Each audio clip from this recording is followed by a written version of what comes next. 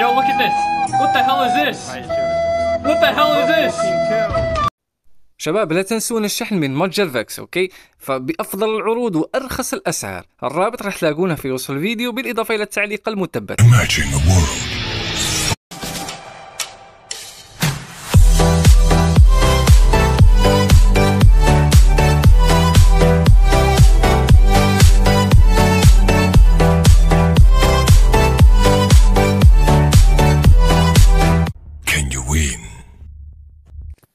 إخواني السلام عليكم ورحمة الله تعالى وبركاته. والله راح تسألوني ليش أضحك وأتمنى لايكاتكم منذ بداية المقطع وليش سويت ذاك المونتاج؟ هل هو تنمر على الشخصية؟ و... لا بالصدق يا شباب والله مش تنمر على الشخصية وإنما شاهدت يعني نقطة سلبية جدا بذاك الإعلان التشويقي مع الشخصية. بصراحة يعني خلتني أضحك. والله كارثة صدق. يعني ال iron sight أو ال scope اللي يخص سلاح Swordfish. بصدق تحكي أنت. يعني أنت راح ترمي على النمل مش على مش على اللاعبين. أنا مش فاهم اللي سوى يعني الحجم اللي يخص ذاك scope بهذا الشكل والله كارثة. والله كارثة. هو كأنه سوى ثقب بمسمار أنا مش فاهم. والله مش فاهم. أتمنى أنه يتعدل هذا ال scope قبل ما. ما ينزلون السلاح okay؟ أنا مش فاهم يا أخي. أنت بصير أنا راح أرمي على النمل.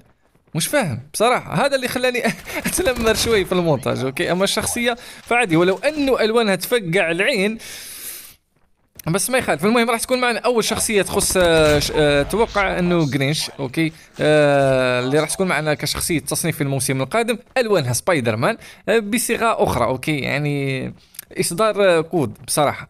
المهم فيما يخص الموسم القادم بحول الله خلونا الحين نشرح التفاصيل بدون استهزاء شباب okay؟ آه، فيما يخص الموسم القادم راح يكون موسم ظلام راح أيضا يعني آه، الخلفية اللي يتمثل فيها الموسم القادم راح تكون بخلفيه ظلام ليش؟ لأنه راح يرجع معنا حتى شخصية فارس المعبد أنا مش فاهم يعني ما بل علاه ولا قص. إلى الحين أنا منتظر تفتيح القصة الأخيرة ونشوف. يا أخي كل مرة يا أخي مسوين آه، ولو واحد يجلد الثاني وخلاص وخلصونا. أوكي يستمر واحد والثاني يودع. يعني حتى بال- بالقصة أمس آه، آه، يا أخي أنت تريد تنتقل للحياة الثانية ولا مش فاهم؟ و Ghost أنا شبح. يا أخي خلصونا من الكلام أعطونا أفعال. أيوه واحد يجلد واحد وسلام عليكم. okay آه فيما يخص أيضا شخصية أخرى مش عارف مش مؤكدة إذا تكونوا يكونون هذول الشخصيتين في Battle Pass ولو أنه احتمال ليش لا؟ ليش؟ لأنه حتى شخصية فارس المعبد ما حصلناها ولا مرة كشخصية Battle Pass okay؟ فاحتمال كبير أيضا أنه ممكن جدا تتوفر معنا ليش لا؟ إحنا أيضا نستاهل. بصراحه يعني كنت أكرهه بس والله من أفضل الشخصيات فعليا بصدق يا شباب فنتمنى أنه يكون آه يعني آه، دوك شخصيتين من ضمن آه شخصيات ال Battle Pass بصراحة. هذا فيما يخص الشخصيات أيضا يا شباب اللي وردت إلى الحين. أيضا في آه، اغراض أخرى ما راح نتطرق إليها الحين. آه، أكيد بعد آه، باقي الشخصيات راح نتكلم عنها لاحقا بحول الله okay؟ أيضا فيما يخص بعض الخرائط اللي تم التعديل عليها أو سوف يتم التعديل عليها باذن الله في الموسم العاشر هي Hackney Yard بالإضافة إلى Nuketown بالإضافة إلى الخريطة اللي أنا ألعب عليها حاليا لأنها كانت الخريطة الجديدة في هذا الموسم. راح يتم التعديل عليها بإذن الله وراح تصير بجو النهار يعني مش راح تصير مع تضل معنا بهذا الجو الليلي. okay راح يتم التعديل عليها. وأيضا في بعض التحسينات راح تصير عليها. أيضا في حتى ممكن تصير في عوائق أيضا من أجل الصعود إلى الشرفات وغيره. okay حتى تكون عندكم فكرة. آه، بصراحة يعني هذا ال map والله جدا رهيب. ولو أنه آه، اللي يسألني لعبت عليه اعلى أعلى جودة فبصراحة map جدا فخم. يستاهل أنه يستمر معنا في الموسم القادم. أيضا ال map الجديد اللي راح يتوفر معنا في الموسم العاشر إلى الحين هو وارد معنا بس هذا ال map وما البقية يتم التعديل عليهم. فبنسبة كبيرة أنه ال map الوحيد ممكن جدا أنه اللي راح يتوفر معنا في الموسم العاشر. وبصراحة يتضح أنه map زين بصراحة. يعني المهم إحنا ننتظر ونشوف بإذن الله. ولو انه فضلت يعني لو خلونا هذا ال map أيضا اللي آه، إحنا نلعب به حاليا لو تركوه بالجو الليلي كان احسن لكن للأسف يعني انتهاء عيدهم اللي يخصهم الهولوين فخلاص راح يتعدل كل شيء. أيضا فيما يخص الأسلحة اللي راح توفر معنا في الموسم العاشر اللي ذكرناها تقريبا سابقا وهي سلاح ال PP 19 آه، راح يكون أيضا متوفر معنا حتى في عجلة حظ اللي تخص آه، اللي تكون بصيغة تلماتيك بالإضافة إلى sniper ال SVD اللي راح يتوفر أيضا حتى في عجلة حظ بصيغة ال legendary وأكيد أنه واحد منهم راح يتوفر معنا في battle pass أما الثاني راح يكون في فعاليات ومش عارف يعني آه، إلى الحين ما عندي تحديد. هو السلاح اللي راح يتوفر. لكن معليش. هذا فيما يخص الأسلحة الرسمية. أما فيما يخص السلاح الثانوي اللي راح يتوفر معنا أيضا في الموسم العاشر فبنسبة كبيرة جدا أنه ما راح يكون سلاح سلاح ال crossbow legendary ممكن بالموسم اللي بعده. أما الموسم الحالي راح يتوفر معنا سلاح ال nunchaku اللي كان متوفر أصلا بالنسخة الصينية سابقا. فهذا أيضا السلاح الثانوي اللي راح يتوفر معنا بنسبة كبيرة بنسبة 90% في الموسم القادم أو في الموسم العاشر بحول الله. يعني اللي ما تبقى له كثير وراح ينزل معنا بشكل رسمي. هذا فيما يخص السلاح الثانوي. الأسلحة الرسمية اللي راح تنزل بشكل عام في الموسم العاشر okay؟ أما فيما يخص الأسلحة اللي راح تبلع nerf هي ال Shorty بالإضافة إلى X 9 واما الأسلحة اللي راح يزيد قوتها ويعني وراح تاخذ buff فهي Type 25 ال Man-O-War بالإضافة إلى سلاح Swordfish اللي بأمانة. يعني في الموسم الحالي ما ارتقى للقوة اللي كنا ننتظرها منه بصراحة. في الموسم التاسع. فلهذا ممكن أن الشركة راح تخلي له مجال في الموسم العاشر بنسبة كبيرة okay؟ لكن بأمانة أتمنى انه يعدلوا ال scope اللي يخص داك السلاح اللي راح بنسبة كبيرة أنه راح يتوفر في التصنيف للموسم القادم بحول الله. هذا اللي فيما يخص الأسلحة وقوتها وغيره okay؟ الحين أيضا آه، الأسلحة الجديده ذكرناها لكن حبيت اتطرق إلى نقطة مهمة جدا. بما أني تذكرتها في هذا المقطع قبل ما استكمل باقي التفاصيل هي فيما يخص حرب الكلانات والعملات يا شباب. أتوقع انه كلكم يستقبل هذه الرسالة على حسابه باللعبة okay؟ أو على الرسائل الموجودة عنده باللعبة.